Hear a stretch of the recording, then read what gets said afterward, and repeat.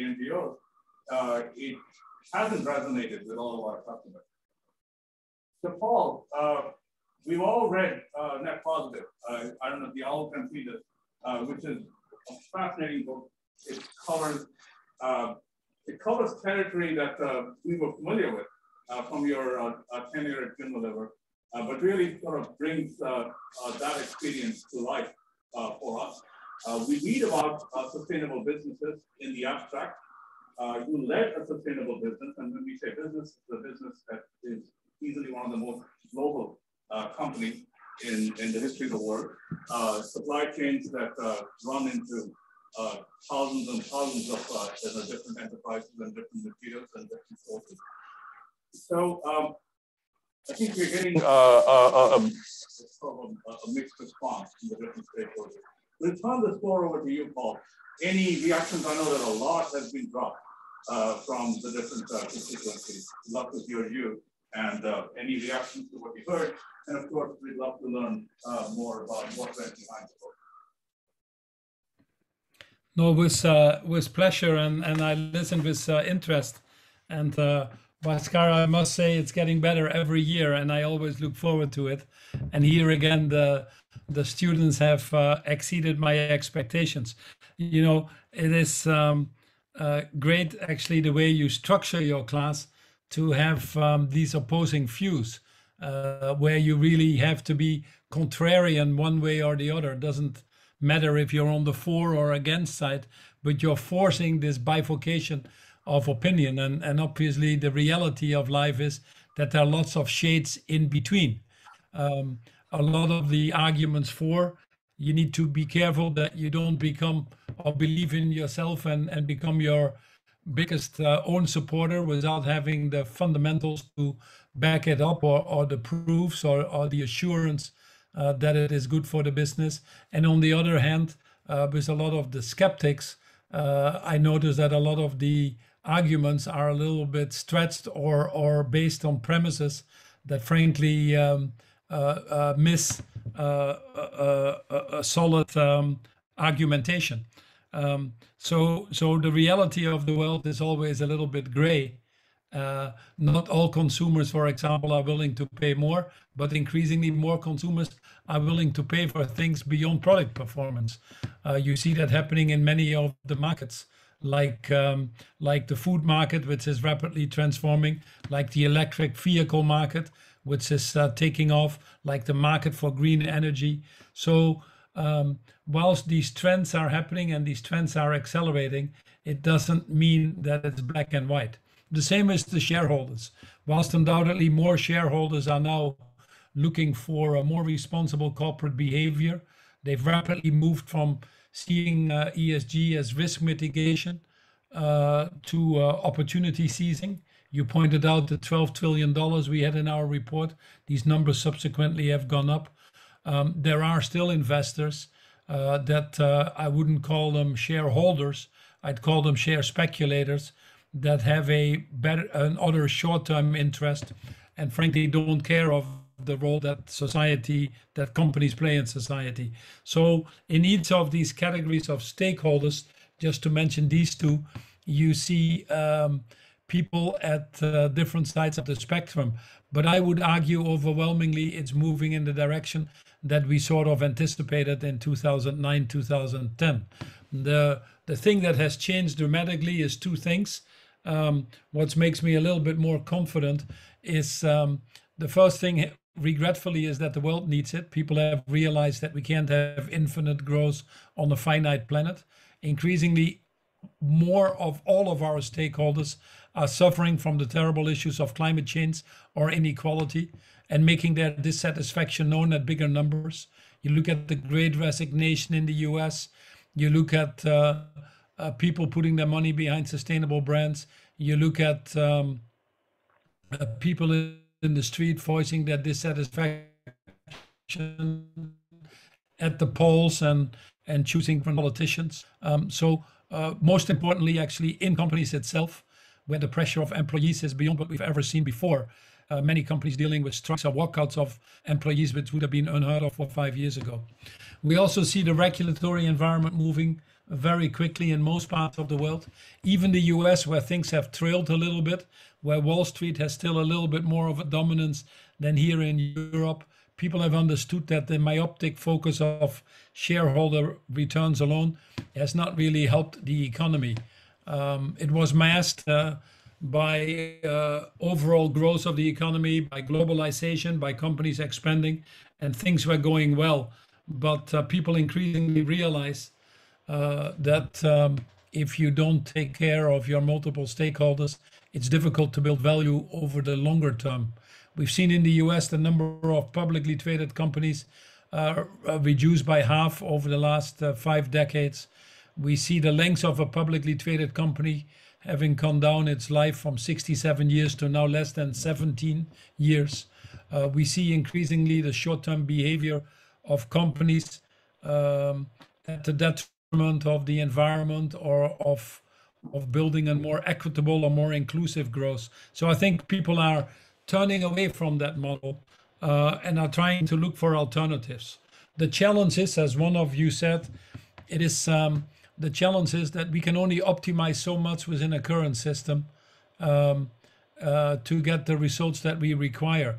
These are major systems changes that are needed to really ensure that business itself is successful long term, which is very important, and has a good return and has profits so that it can do more of what it should be doing. And at the same time, um, uh, as it strives for, for those uh, returns, um, that we, we discover increasingly that optimizing within the current system doesn't get us there anymore, that we have to drive the broader systems changes. And this is where the challenge is. It's the challenge is in that partnership that is needed between the different actors, civil society, governments, private sector, uh, to get to these bigger changes. Unilever never pretended to do things alone, never pretended that it had more influence than consumers or other things. The only thing that Unilever did, as I explain in my book Net Positive, is it, it took first and foremost, um, uh, it created first and foremost awareness of the issues that the world is dealing with. You cannot run a business longer term by denying the realities of the environment in which you operate. Business cannot succeed in societies that fail. Climate change is affecting consumers, but it's affecting every business as well. Uh, the economic uh, geopolitical tension that we see, now the terrible war in the Ukraine, is also affecting all businesses. So business cannot uh, distance itself from a system that gives them life in the first place. So uh, for us, it is important that business in, indeed has that high awareness as a first step of what is going on. Very few businesses actually have that awareness to that level. The second thing is, it's not that we are pretentious to come back to the consumer side of um, of telling consumers what to do or not to do. No, it's actually taking responsibility of your total impact in society, as I explain in the book Net Positive. It is irresponsible to have business models out there that are designed to make the world worse uh, when the world is in desperate need to make it better. It is irresponsible for businesses to not take responsibility of their unintended or intended consequences beyond their direct control. It's great that Facebook has lots of followers, but if it doesn't take responsibility for child addiction on their platforms or, or hate speech or uh, child pornography, if you want to, then consumers are ultimately going to reject it. It's not different from Unilever.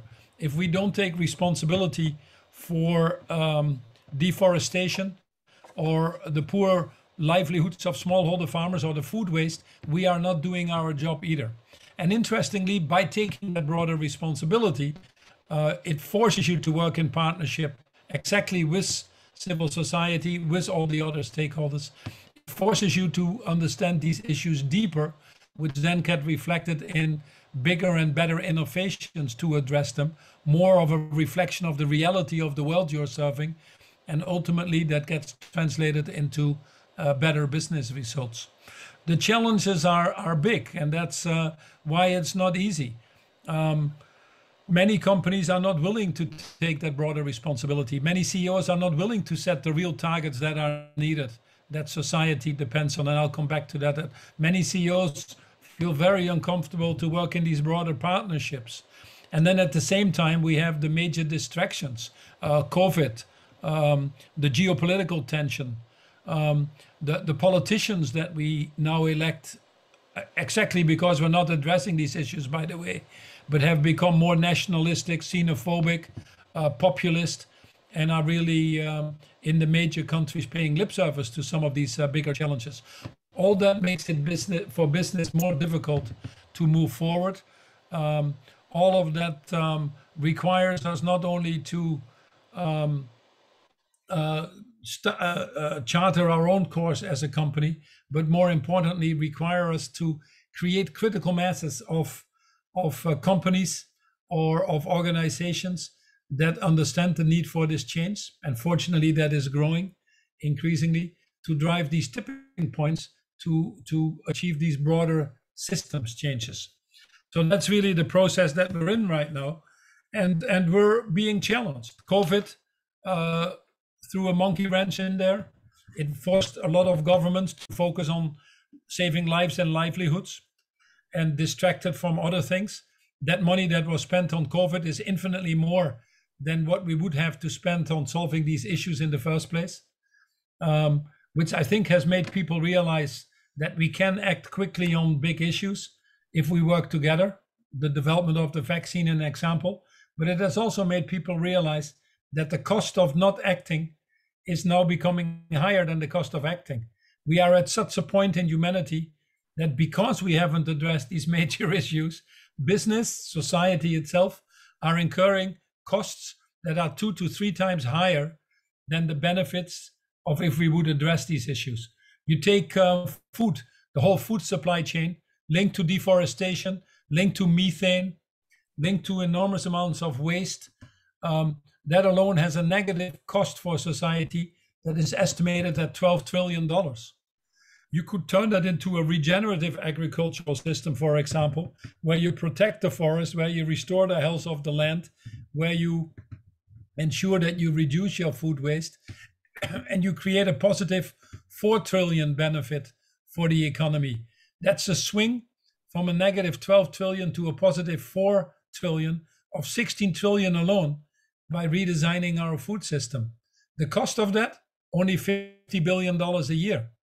The effects of that, immediate. If we all start changing our diets and use alternative proteins than animal proteins, for example, it's probably the biggest immediate effect on climate change. The cost of that, negligent, frankly, negligent.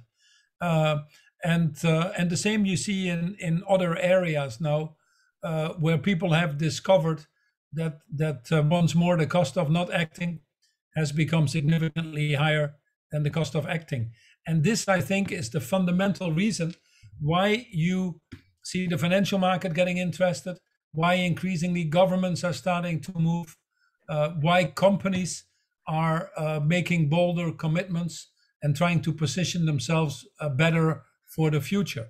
And we're at that point right now that um, the voices of the ones that don't that want to protect their own self-interest, the status quo, some of the bigger energy companies, oil companies, uh, some of uh, other industries where people don't have a interest to change their current business models because it's them well.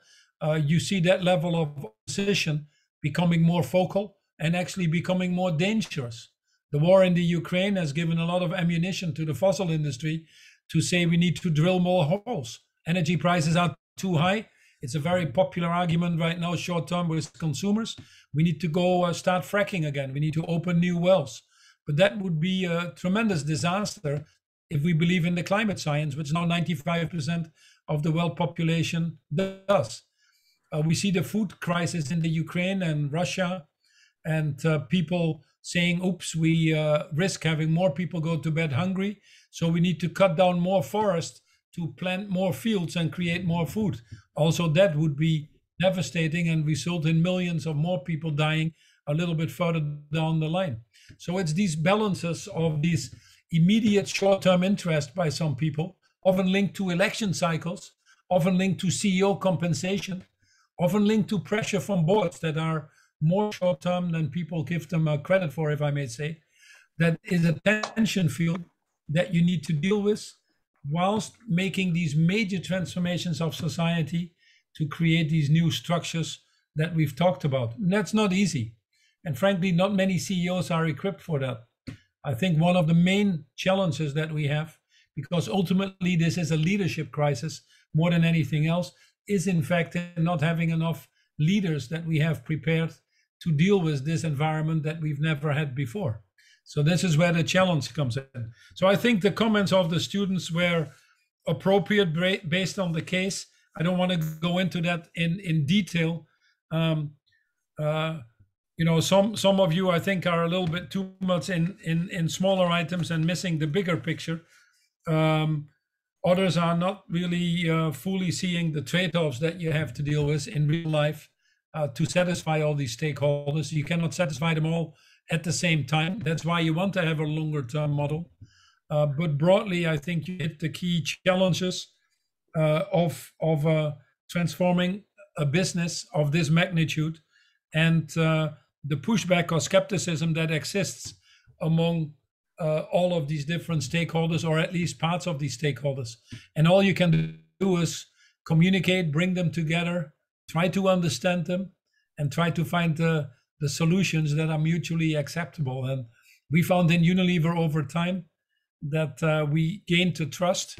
We were uh, twice as trustworthy, even as companies like um, like uh, Patagonia, uh, that we could form these partnerships, and that these broader partnerships gave us the opportunities to actually drive uh, bigger and faster changes than we otherwise would have. With the benefit of hindsight, you know, we stayed our course we actually stepped it up. The 10 years gave us 300% shareholder return, out, out, outperforming our competitors. I know we fall short on climate change and water, but you know, um, frankly, for Unilever, these numbers were driven by acquisitions we made. We got uh, very fast into the hair care business in the US, for example, with Alberto Culver, lots of hairsprays, uh, lots of products with water use, like uh, shampooing our own usage was actually going down quite significantly. But it shows you what a challenge is it to drive the consumer changes. And it shows you also how important it is to get governments to be with you and to put the right uh, regulations in place to drive these bigger changes. We never succeeded on getting rid of deforestation in all of our value chains. Uh, we probably were better than all of the competitors combined, but we still had major issues. You get a person like Bolsonaro in Brazil, who actively deforest, uh, uh, drives deforestation in his country, uh, basically on, on populism, it's very hard for companies alone to do something about it. Uh, so you work very hard with the European governments, for example, uh, on, on trade agreements like Mercosur to ensure that no product can enter Europe that comes from deforestation. Just as an example to show you how you have to work with governments. Many governments still give heavy subsidies to fossil industry. The US during COVID gave as much money to the fossil industry than to green energy uh, because of the lobbying. You know, half of the 4.5 billion money of lobbying that goes into Washington comes from the fossil fuel industry. And the government right now is clearly not strong enough with a, a small majority, or I would argue was mentioned no majority at all, to really pass the, the right things. But if you don't get the legislation and the governments to move, ultimately you will not get these broader systems changes. It's difficult for companies um, to to um, deny that, so they need to be active part of that, and it's also difficult for companies to make the bigger changes by themselves um, and, and be held accountable for that. You know, the comments on plastics in the oceans is right, but no company alone can solve the issue of plastics in the oceans or, or set up recycling systems uh, by themselves. If you don't have governments and if you don't work together, like Europe now does with the circular economy package, for example, or the, re, the prohibition of single-use plastic and other things, you'll never get there. So this new way of working, these broader partnerships, driving these bigger systems changes are becoming 10 times more important. And that requires trust. And trust requires you to earn a seat at the table to show that your company is real and doing things to work in a, a big level of transparency, to set targets that are truly needed, and to have leadership that has the courage to say in some of the things I don't know how to get there. I need your help to be there. But I know that the targets I set are the right targets because these are the targets that the world needs, not the targets I can get away with. For Unilever, it was never, I was never worried about hitting all these targets or not because we set absolute targets of zero waste, zero carbon emission, uh, living wages in our total value chain. I just wanted to be sure that whatever we did was under the mindset that we needed to do what the world needed. And as a result, I believe that a company like Unilever ended up in a much better place than it otherwise would have been, despite not hitting all these targets. And some targets actually overachieved. But the thing I'm most proud of is that at the end of the day, we reached 1.3 billion consumers and improved their livelihoods. That's more than a country like India or China can do, or I would argue the two of them can do combined. And I've always said that the true definition of a billionaire is not having a billion dollars in your bank, but touching a billion people to improve their lives. And I'm proud of the fact that I think we have shown increasingly that business can be that force for good and that there are different business models that can be successful beyond the simple model of shareholder primacy that frankly increasingly is being uh, is being discredited. So that's a long story to say that uh, that the group very well understands the challenges, the trade-offs, the dilemmas that are there, and that it, in order to solve these enormous challenges, which you all seem to agree on, it requires a, a lot of time to bring these different parties together, to seek that common ground and that understanding, to move forward on these bigger changes that we need. Over to you. Oh, thank you so much. Thank you. Uh, uh, let's uh, uh just uh, make some noise here. Paul. I think there's so much that you just said. Um, I just wanted to have two boards to uh, write uh, what I could. Um, I think I, could have written on the wall, and uh, I'm not out of space. Two definition of a billionaire is uh, not somebody who's got a billion in the bank, but can reach a billion people and change their lives. Very different from um, a billionaire who uh, might look to buy a social media platform that has half a billion followers, half of whom are bots. But that's a different definition of a billionaire. But we won't go there. Uh, Paul, there are so many recurring themes in your observations. I'd like to just touch on a few of them. And I also see the connections across them. So the word systems change came up repeatedly. Um, now, the moment I hear systems change, I think all of us get excited because we like complexity and we appreciate complexity and uh, we realize that uh, this is hard, and uh, which is what excites us and, and, and in many ways inspires us. But systems change is hard because systems change means many different parties with individual interests and motivations are connected.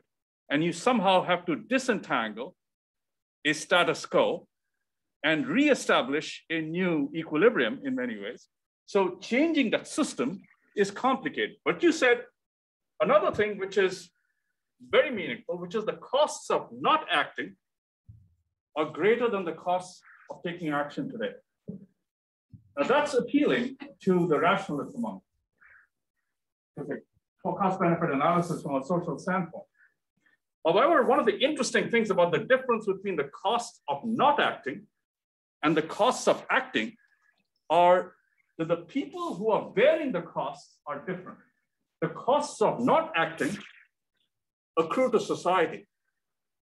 So when we have uh, uh, global warming, the costs are possibly borne not even the societies we live in here in North America or in Europe, but places in the global south or parts of the world that are already underwater.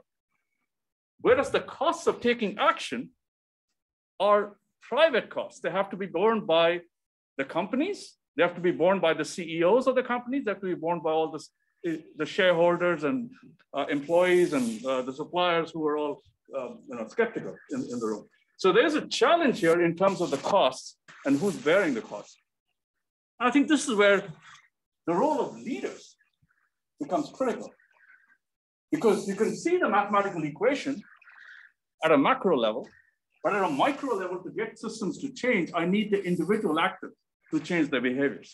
Now, the individual actors, their incentives are not aligned. So this is where I need leaders. And by leaders, it's not just the leaders who are CEOs or founders of exciting companies, big or small, but companies that are themselves leaders. Companies like Unilever, which can create awareness and potentially pull the industry along, pull the supply chain along, and thereby radiate change up and down the system. And this is where the theme that uh, describes this class is the theme of authority. What does the role of, of a, a company that has, or an enterprise that has authority, what role does it play in, uh, in creating this ripple effect? Now, I also thought it was interesting, you're, you're mentioning Patagonia, which is almost not the polar opposite of Unilever, but in many ways so different from Unilever that they offer a different example. So Unilever, a publicly traded company, very much in the public view. Its operations are transparent. It has to be. Even though you uh, put aside quarterly guidance, you're still under pressure from analysts and uh, from stakeholders across the system, across 190 countries. Patagonia, on the other hand, a private company. And essentially, they do pretty much what they want, as long as they make great products and as long as people are willing to pay the high prices for their products. And Patagonia's products are aimed at a tiny sliver of the population, whereas uh, Lifebuoy soap sells in 190 countries, I think, or maybe you know, maybe even more. So very interesting difference between the different kinds of companies. So it's a long-winded way of asking you a simple question, which is how does one break in? How does one break the system? Where does one start? Is it better to start as Patagonia, where you're private and you're Yvon Chouinard, and you say, well, I'm a dirt bag and I can just do what I want. And uh, as long as I'm selling success, I'm, I'm a successful business uh, person, uh, people will just follow me. Or is it better to start as a giant, giant like Unilever and then try and effect change in a public way? Uh, no, the reality, uh, Bhaskar, is that that you need both this uh, this pull from the top and the push from the bottom. And I think a lot of this broader systems changes that we've seen in society can happen at both levels. You know, I would argue that uh, the Mandelas or the Gandhis or the Rosa Parks or the Martin Luther King were were to some extent systems change drivers from the bottom up. But on the other hand, for example, Frank uh, Roosevelt with his New Deal was a systems change driver from the top down.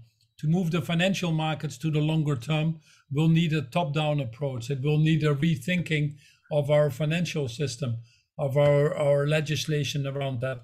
And that would probably be one thing. Uh, going into a broader accounting system to drive systems change, like um, accounting not only for the return on financial capital, but also on the return on social and environmental capital that will be a, a top-down approach more than a bottom-up approach.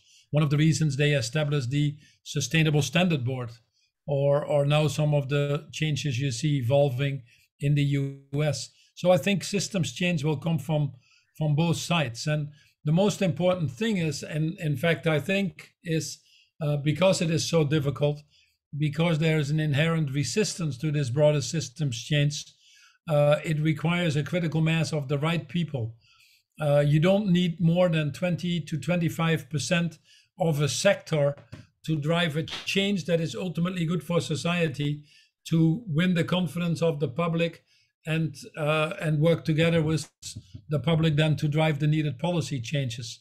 So you just need to be very careful on the coalitions you form to drive the right uh, systems change and that is based on coalitions that operate on a high level of trust, on shared objectives, of full transparency and accountability, uh, continuous feedback loops, clear understanding what each and every party brings to the coalition.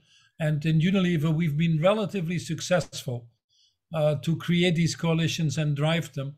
Uh, whilst the reality is that many of these partnerships in the world are proving to be very difficult.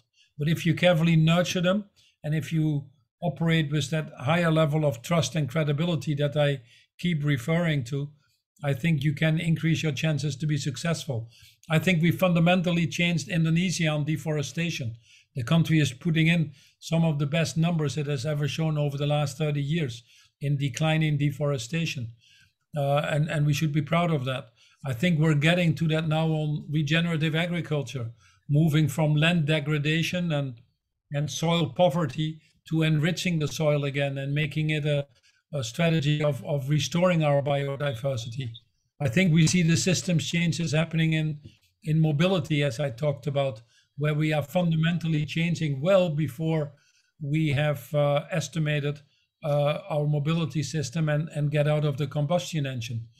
And so, so it's technology helps, uh, the burning issues that society and the cost that society faces helps. Um, and, and coming back to your point on uh, winners and losers of these transitions, or some make the investments and others get the benefits. Obviously, there is an increasing area where the ones that make the investments, I would argue, also have the benefits. Uh, business cannot succeed in failing societies. So it's in the benefit of business to invest in all these things. But I also think it's an ideal opportunity as we drive these broader systems changes that we keep the people in mind that are poor, that are still living on less than $5 a day, that have, don't have access to energy. And that in these transitions, we have what people call a just transition, a fair transition, an inclusive transition, and set as a clear objective to reduce the inequality. A world where too many people feel they're not participating or where they're left behind ultimately will rebel against itself. I think that's one of the problems. So inequality is a other side of, of climate change, but it's the same coin. So how do we provide health, universal health care to everybody? How do we give everybody energy access? How do we provide education for everybody? These are things that, yes, I know will ultimately benefit society, but by benefiting society, it will also ultimately benefit the companies who have to be successful in these societies. So I think they're integrally linked, but any policy change that governments do have to always ensure that um, that we address the issues of inequality or just transition. Uh, Australia is now discovering that nobody wants coal anymore, thank God. So the coal mines are being closed, but uh, they need uh, six times more jobs in green energy. So they don't have enough laborers in Australia. So they need to be sure that the coal miner is not unemployed, but that they spend a lot of money or enough money on retraining the coal miners to become uh, employed in the green energy. So that's what we call a just transition. And likewise, in um, in um, the more emerging markets that you refer to, uh, we it's in our interest that we spend some money collectively on helping these countries adapt to this new world, uh, convert to a greener economy, especially when they cannot tap into the financial markets themselves. Because if we don't, we're all going to pay the price for it. The climate change or the pandemic or some of the other issues that we deal with don't have any borders. And uh, they are global issues that we need to take global responsibility for. And I think more and more businesses are willing to do that. Look at how many businesses are willing to give up their, their business success in, in Russia because of the atrocities that Russia is committing in the Ukraine they implicitly are saying, I don't want to finance that. I don't want to be there anymore. Some are taking a cut in their business by 10, 15%. By the way, none have seen their share price go down. You know, the companies that saw their share prices go down? Were the companies that continued to stay in Russia, that increasingly were subject to broader boycotts from consumer groups outside of Russia who that who understood that by supporting these companies you indirectly support the war and be complicit to it? So increasingly we're starting to see that businesses that play that more important role of also becoming societal leaders are actually getting rewarded for that uh, by even the financial market and and and get it translated into higher value creation. Yeah i think the uh, the russia uh, uh invasion, uh, you know, is uh, is almost an interesting litmus test in terms of businesses making decisions. You know, some of them made them pretty early, others took their time, and yet others were led away from Russia, kicking and screaming, and a few others probably uh, made a few uh, tricks with renaming their organizations and country and so on and so forth. But it's very interesting that companies like BP, for instance, you know, lost you know, close to a quarter of its market value by abandoning its projects in Russia. Paul, I know it's incredibly late for you, but do you have a few more minutes just for questions? I know that there's so many questions here. Can we can we borrow 10 more minutes of your of your time? Yeah, yeah. Go ahead. Go ahead. Okay, fantastic. Questions from the room. Come on. All right, Shruti. Please uh, Hello, Paul. Uh, my name is Shruti. I'm an international business student here at Fletcher. Thank you so much for this inspiring talk.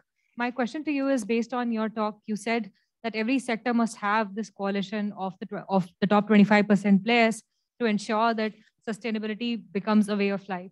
My question to you is, how did you start uh, building this consensus between different players in the market uh, over the issue of sustainability? Um, and how do you ensure that competitors do not um, do not go in different ways. Let's say Unilever is uh, investing in sustainability while other big players like P&G do not prioritize this. Uh, how do you compete with them then? Yeah, some of that will always happen, you know. And uh, when we move to sustainable palm oil, and we started buying sustainable palm oil certificates and investing a lot in converting the plantations to sustainable palm oil, it undoubtedly cost us 15 to 20 million dollars a year to do that and some of our competitors were just sitting on the sideline. But I think increasingly we saw that uh, we created more resilient supply chains. When it moved to sustainable sourcing, it actually had a higher yield and better livelihood. So it created a, a more robust and resilient uh, value chain and actually lower prices over time.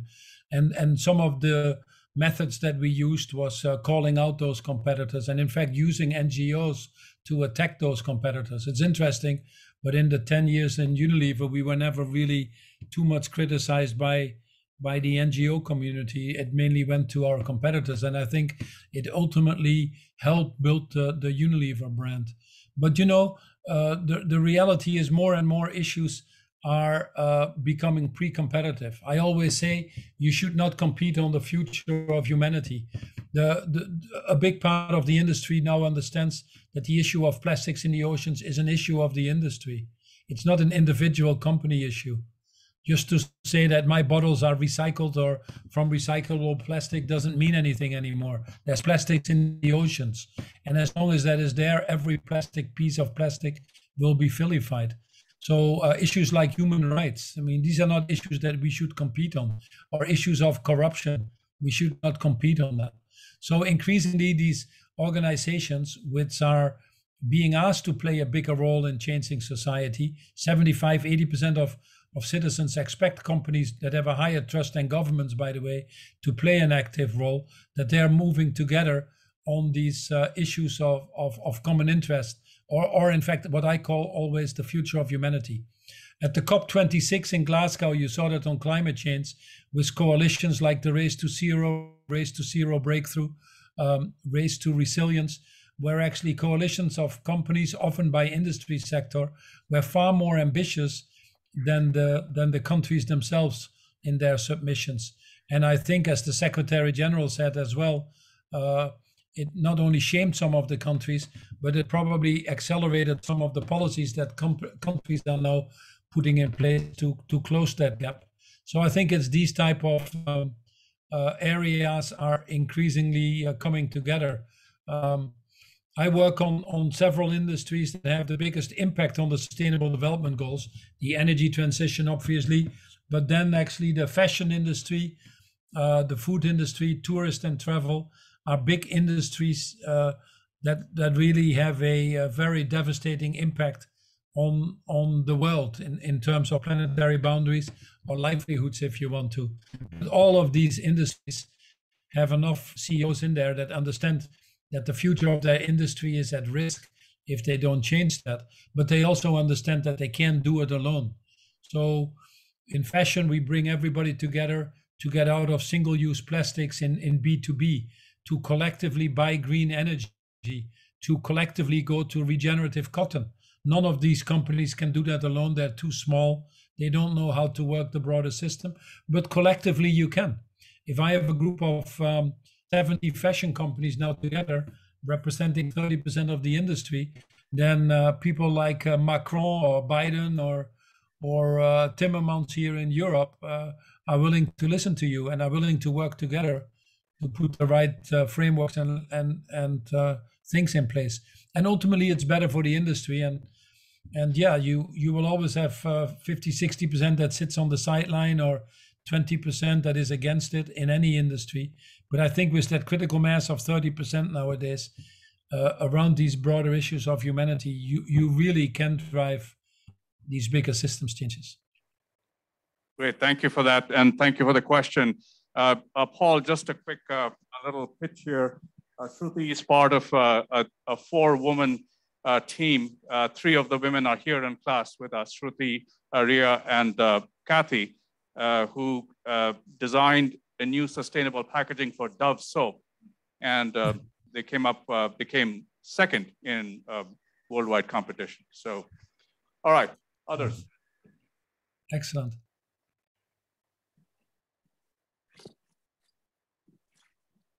Hello, Mr. Paul. My name is Gaurav. I'm a first year um, MALD student here at Fletcher.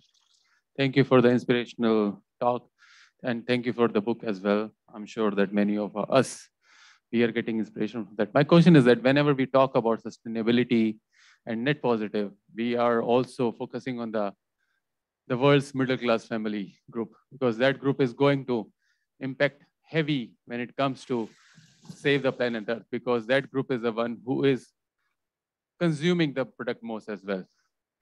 When we talk about the products that we are selling at the higher price, of course, for the rich, it's easy to buy. But when it comes to middle class, it's a difficult, and for the lower middle class, is even more difficult. How do you see that products can be more affordable so that we can go in this direction forward? Thank you. Yeah, I personally am of the opinion that um, most of the issues that we need to solve actually don't result in a higher uh, uh, cost. Uh, the, the the notion that um, sustainability uh, cost money is probably true for some things, uh, or, or, investments might have to be made upfront uh, instead of later. Um, but frankly, I, I think for most of the issues we are past that point. We can um, provide more nutritious food, healthier food, if you want to. Um, at a lower cost in a more sustainable way than what we currently do. If you look at the cost of deforestation, of food waste, of degrading the land, uh, and, and all the issues that are related to that, the costs are infinitely higher. Um, we are close to the point that electric vehicles are cheaper than uh, combustion engines. So there's always this little curve that you need to go over um, and, and get to critical mass.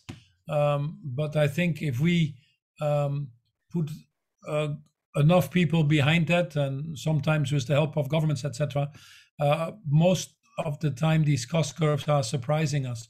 70, 80% of the world right now has cheaper green energy than fossil energy. It's certainly the case now, obviously, with the enormous increases we've seen in energy prices. So I think um, whilst we have to be mindful that um, that we protect uh, and improve the living standards of the lower and middle class. Um, it is actually increasingly easier to design for that group of people something that is more sustainable than converting the more vested economies of Europe and the US, which is proving to be more difficult. Always more difficult to change an incumbent than to, you know, to to disrupt by uh, by by the newcomers. Um, so inherently, I think in the way that uh, China is now being built up in its public transport, in its mobility systems and others, has a better design in there structurally to attack sustainability, I would argue, than the US has, for example. In Africa, we now have an opportunity to ensure that the energy we need to provide or the agriculture that we need to bring back to the continent is done in a sustainable way. The World Economic Forum calculated that uh, with the help of BCG, Boston Consulting Group, that if um, all of the value chains in every industry sector would move to full sustainable value chains, it would be 9 to 16% cheaper. You know, think about it. Right now, only 8% of all the materials we produce is reused. The rest ends up in landfills, incineration, or as we talk increasingly in the oceans. That's just absurd. That we only reuse 8% of everything we use. And most of the things we use have a negative effects on, on, on our nature, on our natural habitat on which we depend. We provide us over $45 trillion of free services, by the way. And increasingly, we're starting to see the cost of those things coming in. So designing it now better is, um, in most cases, going to be actually cheaper and more affordable for this rising uh, middle class that you're referring to. Now, in the cases where that is difficult to achieve, we either need to wait a little bit longer for more discontinuous technology or design differently, or we need to change some government policies that redirect. You know, $1.8 trillion is still in subsidies, $1.8 trillion in subsidies that degrade land or that stimulate fossil fuel. It's absurd. So if we can make governments clear, which are often very compartmentalized, but if we can make clear to governments that these subsidies should be directed to greening our society, I think it goes a long way to helping the poor in as well. Right now, we don't even have 100 billion for the Green Climate Fund. We can't even have the, the courage to give them vaccines, uh, and we're hoarding them ourselves in the West as if it's nothing. Uh, that's a cost of 50 to 75 billion. Here I'm talking about 1.8 trillion. You literally, literally can redesign whilst saving the lives of the poorer people. We are now working, for example, I'm on the board of the Rockefeller Foundation to give you a concrete example. And um, with foundations like the Bezos Foundation, IKEA Foundation, Rockefeller Foundation, some of the multilateral finance institutions, we have uh, $10 billion in concessionary financing, which could be first loss, which could be blended, if you're familiar with these terms. We can leverage that up now with the private sector by taking these risks away.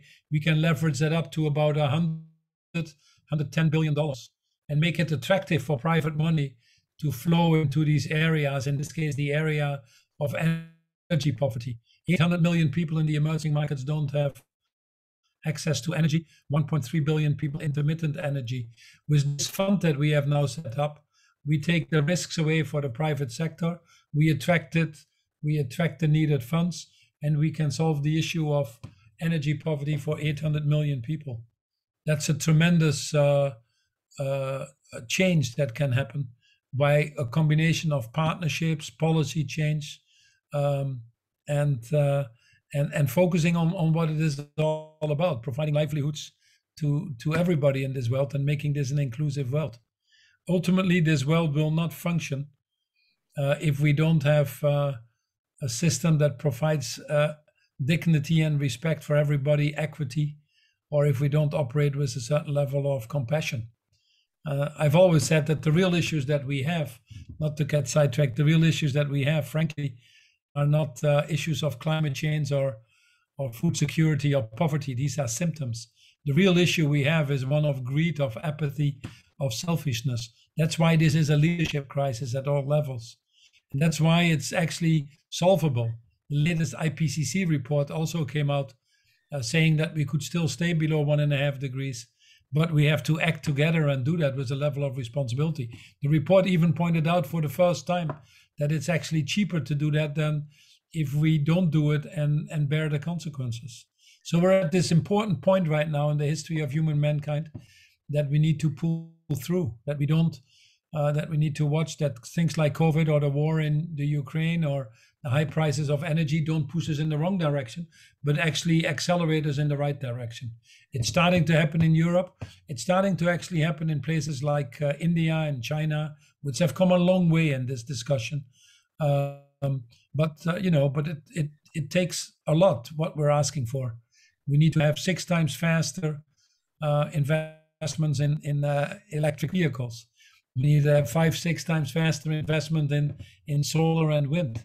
These are step changes uh, at a scale that we've never done before. Uh, and yet we have the money, by the way. It's not a question of money, it's a question of deploying it in the right way. And I think uh, that's, that's where the private sector, again, once more, um, can play a major role, not only convincing governments, but also themselves putting their money behind it to, to be proud and hopefully 10 years, 15 years from now, and say we solved the world's problems. We didn't leave you with bigger problems. By all means possible. Well, Paul, I think um, we are uh, we agree with you. It's a leadership crisis, and that's why we're here. Uh, we run a leadership factory at Fletcher, and uh, it's important for us to hear from you so that uh, um, um, we can, um, you know, uh, inspire uh, the leaders who will step onto the stage. that is a bit of a mess right now, but we will give them the tools to clean up the mess. And so, thank you for helping us get an understanding of what it takes to clean up the mess. Uh, you know, once again, recreating awareness of the mess and how you did it, uh, at least played your part in, in, in Unilever. Uh, thank you so much. It is very late. Uh, the internet is also sending us a message saying your bandwidth is low. so we'll uh, we'll let you we'll let you say a good good night and thank you. Thank you again, Paul you.